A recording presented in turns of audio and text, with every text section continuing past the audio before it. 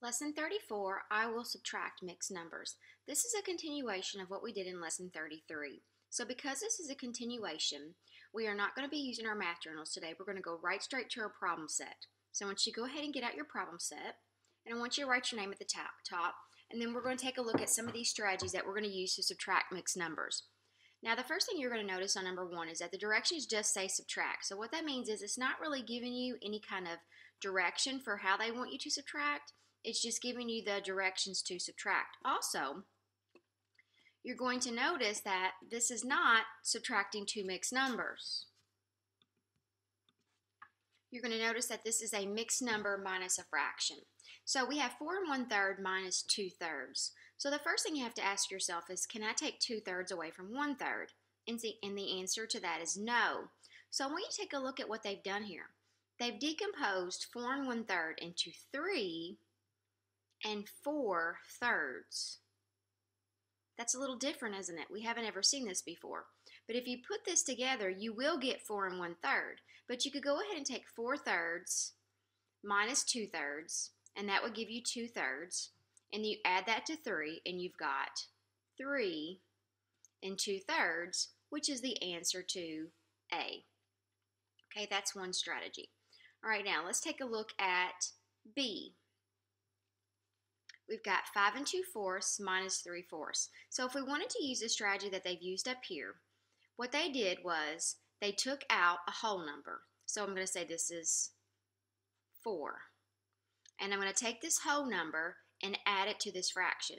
So I'm going to say 4 fourths plus 2 fourths would be 6 fourths. Then I'm going to take 3 fourths away, and that's going to leave 4, and then what I get here, which is 3 fourths. So watch that one more time. Okay, so I've got 8 and 3 fifths. I'm going to take out the whole numbers. I'm going to leave one whole number, so I'm going to make take out 7. So that leaves one whole number and this fraction. I'm going to change the whole number that I left into 5 fifths and add it to 3 fifths. So that gives me 7 and 8 fifths. Now I'm going to subtract 4 fifths from 8 fifths. So I'm left with 7 and 4 fifths. 8 fifths minus 4 fifths is 4 fifths, and then I just put it right here with this 7.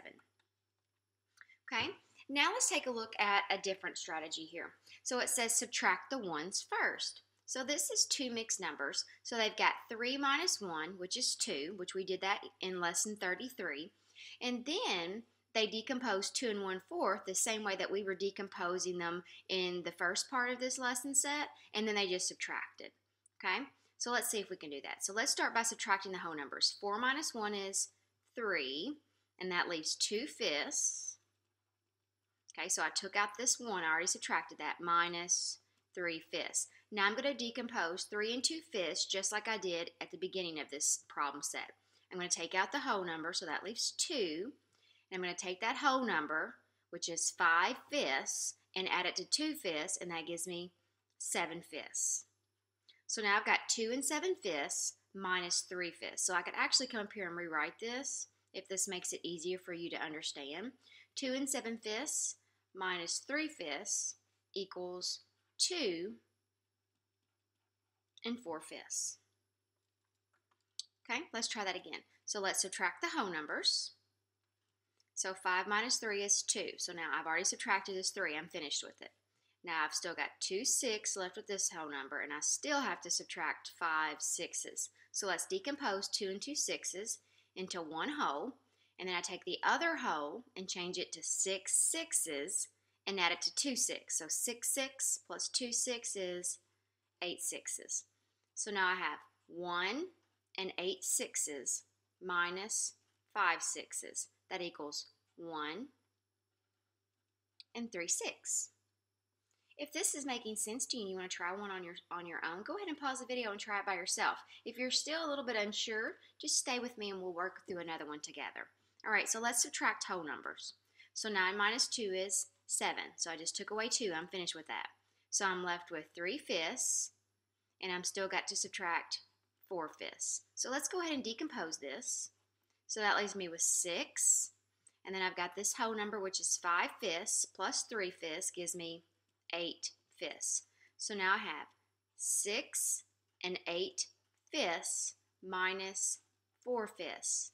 That leaves 6 and 4 fifths. Okay, now it says we can solve using any strategy. That means that we can use any of the strategies that we used before. Now, like I told you in lesson 33, I have found that most fourth graders find the arrow strategy to be the most efficient. That may not be true for you. You may have picked up on a strategy yesterday that makes perfect sense to you and you can do it quickly and always get the correct answer. If that's true, use whatever strategy you want. I'm going to choose to use the arrow way only because I have found that most fourth graders are able to do that strategy well. Okay, so remember when you use the arrow way, you're starting with a small number and you're counting up. Okay, so we're going to do 2 and 5 eighths, and we're going to count up to the next whole number, which is 3. So to get from 2 and 5 eighths to 3, I'm going to add 3 eighths. Okay, so remember, I'm trying to get to 7 and 3 eighths. So I'm going to go from 3 to 7. So from whole number to whole number. So that's going to be plus 4. Now I'm going to go from 7 to 7 and 3 eighths, which means I'm going to add 3 eighths. Now all I have to do is add all of these numbers together. So I've got my whole number 4. 3 eighths plus 3 eighths is 6 eighths. Okay? All right, let's try this one. So I'm looking and my fraction here is greater than this fraction, so I can't just subtract. So I'm going to start with the arrow strategy. So I've got 3 and 8 tenths, and I'm going to go to the next whole number, which is 4. So what would I have to add here to get from 3 and 8 tenths to 4? I would have to add 2 tenths. So now I'm going from 4 to what? I'm going from 4 to 6. So to get from 4 to 6, I have to add 2. And then I'm going from 6 to 6 and 4 tenths. So I'm going to add 4 tenths. Now I add all of these together. So I have 2, and then I've got 2 tenths plus 4 tenths, which is 6 tenths. Okay, if you're feeling comfortable, go ahead and pause the video and try these last two by yourself and see how you do. Now again, 8 twelfths is bigger than 3 twelfths, so I can't just subtract. So because I can't just subtract, I'm going to use the arrow strategy. So I've got 3 and 8 twelfths, and I'm going to go to the next whole number. What would the next whole number be? It would be 4. So what would I have to add to get from 3 and 8 twelfths to 4? I would have to add 4 twelfths. So now I'm going from 4 to what? I'm trying to get to 8. So from 4 to 8, you'd have to add 4. And then I'm going from 8 to 8 and 3 twelfths. So I have to add 3 twelfths. So now I add all that together. I have the whole number 4. 4 twelfths plus 3 twelfths is 7 twelfths. Okay, last one.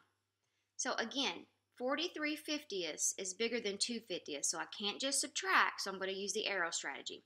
So I'm starting at 6 and 43 fiftieths, and I'm trying to get to 7. So I've got to think, hmm, what do I have to add to 43 fiftieths to get to 7? Well, I have to add 7 fiftieths because I'm trying to get to 6 and 50 fiftieths, so I have to add 7 fiftieths. So I'm going from 7 to what's my next whole number? I'm trying to go from 7 to 14, which means I'm going to add 7, and then I go from 14 to 14 and 2 fiftieths, which means I have to add 2 fiftieths. Then I add all this together, that equals 7 and 9 fiftieths. So again, I chose the arrow strategy here. This may not be your favorite strategy. If this is not your favorite strategy, don't feel like you have to use it. However, the, remember, I chose to use this strategy just because this is what most fourth graders can do really well. But remember, we still use, we can use this strategy where we subtracted the whole numbers first, and then we decomposed the mixed number and subtracted the fraction. You could also use this strategy here. if you didn't have mixed numbers, okay? Well, that's the same strategy, but right up here where we did the same thing, okay? There are lots of strategies. You can even go back and look at lesson 33 at some of those strategies that we used and see if there's anything there that you like better. Pick the strategy that makes sense to you, that you can do quickly, and you can get the correct answer. Because remember, if you choose a strategy that you can do fast, but you always get the wrong answer, it's not a good strategy to use.